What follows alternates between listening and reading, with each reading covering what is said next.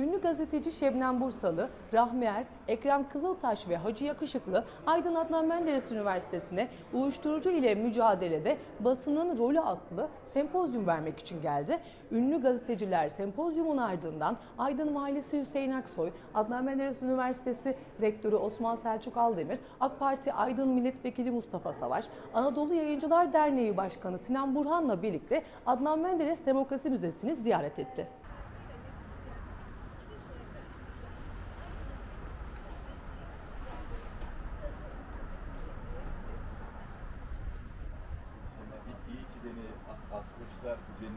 Anadolu Yayıncılar Derneği'nin İçişleri Bakanlığı'nın destekleriyle düzenlediği Aydın Adnan Menderes Üniversitesi ve TV'denin katkı sunduğu uyuşturucuyla mücadelede basının rolü paneli Adnan Menderes Üniversitesi Miletos Salonu'nda gerçekleştirildi.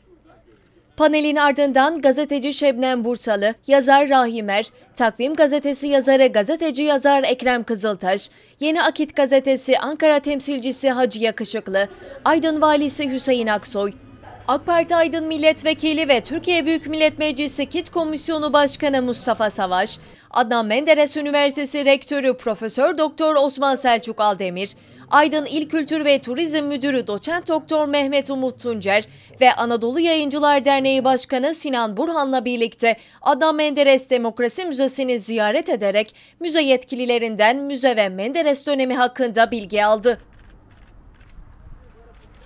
Ziyaret sonrasında açıklamalarda bulunan Aydın Valisi Hüseyin Aksoy şunları söyledi. Evet, e, uyuşturucuda basının rolü konulu bir e, panel gerçekten önemli. Ülkemizin ve dünyamızın önemli sorunlarından birisi ve basının da bu alandaki sorumlulukları, duyarlılıkları, konuya yaklaşımları bu sorunun çözümünde oldukça önemli.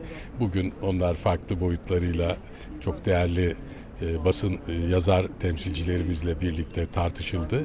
Güzel bir etkinlik oldu. Daha sonrasında da Adnan Menderes e, Müzesi ziyaret edildi. Aydın'ın yetiştirdiği bir değer ve bu merhum başbakanımızla ilgili yapılmış olan müzeyi de e, ziyaretçilerimize e, gösterme fırsatımız oldu. Adnan Menderes Üniversitesi Rektörü Profesör Doktor Osman Selçuk Aldemir şöyle konuştu. Bugün e, basınımızın duayenleriyle birlikte üniversitemizde ağırladık, Aydın'ımızda ağırladık. Fevkalade önemli bir gündü. Uyuşturucuyla mücadelede basının rolünü bir kez daha ele aldık. Tabii ki bu bizim üniversitemiz açısından çok önemli. 60 bine yakın öğrencimiz için bir mesaj verdik. Bu anlamda çok kıymetli. Ben bu konuda emeği geçen herkese çok teşekkür ediyorum. Başta siz olmak üzere TV'den çünkü bu konuda öncülük yaptı. Adnan Menderes'in Türkiye için bedel ödediğini hatırlatan Anadolu Yayıncılar Derneği Başkanı Sinan Burhan şunları söyledi.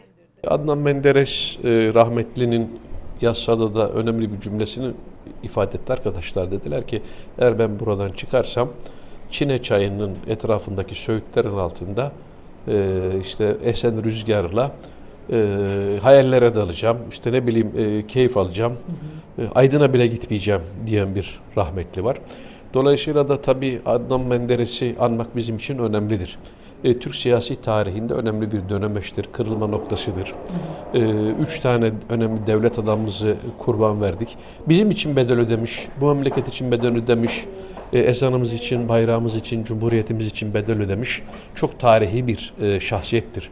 Demokrasi Müzesi'ne her geldiğinde duygulandığını söyleyen gazeteci yazar Şebnem Bursalı şöyle konuştu. E, her gelişimde inanın hani bir aydınlı olarak e, aslında biraz daha duygusallaşıyorum tabii. E, ama e, demokrasi şehidimiz Adnan Menderes'e ve diğer demokrasi şehitlerimize ve tabii ki o işte hep utançla andığımız tarihin o en kara sayfalarındaki darbeler tarihinde bir anlamda hatırlattığı için de çok kıymetli bir eser. Bu tür müzeler hani belki bazen yaralarımızı kanatıyor ama her zaman bir e, hatırlatmada bulunması, farkındalığı arttırması açısından da çok kıymetli kalıcı eserler. Gazeteci yazar Ekrem Kızıltaş da şunları söyledi. Ee, Esas olarak da işte Aydın'da mesela geldik Menderes Müzesi'ni ziyaret ettik. Rahmete vesile olur kendisi açısından.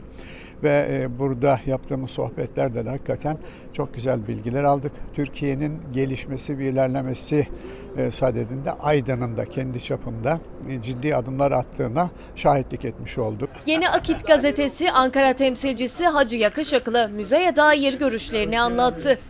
Ziyareti ya, üzücü oluyor ister istemez ama e, üzülseniz de e, hatırlamanız açısından da olumlu. Yani ben bu açıdan da Adnan Menderes'in hatırasının böyle güzel bir alanda 90 dönüm alan içerisinde üstelik yapılan evde Adnan Menderes'in doğduğu eve benzetilerek yapılmış.